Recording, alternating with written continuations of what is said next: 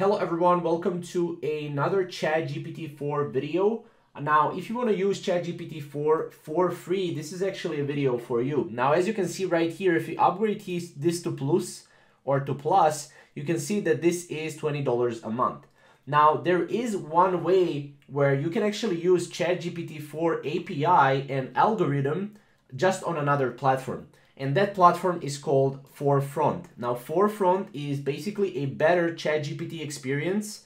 So if you want to have a you know ChatGPT 4 API, you can actually sign up for absolutely free to this platform right here. So you can actually use ChatGPT 4 without OpenAI, which is amazing. So if you want to go here, this is basically how it looks like. As you can see, you can basically go here. You can uh, you know chat with another persona if you want stuff like that. You have a lot of different things that you can do. If you just hit play here, we can see that this is how this is working. This is the entire forefront chat, uh, you know, UI and platform.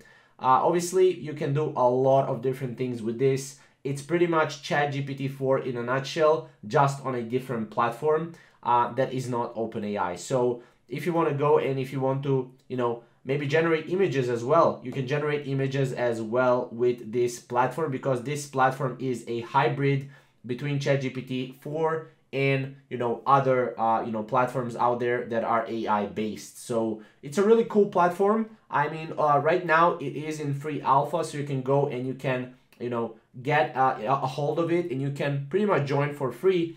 But it will uh, cost some money, I think, in the future. But overall, this is the, the best way you can get access to ChatGPT 4, image generation, custom personas, and a lot more with Forefront AI. So just go to forefront.ai.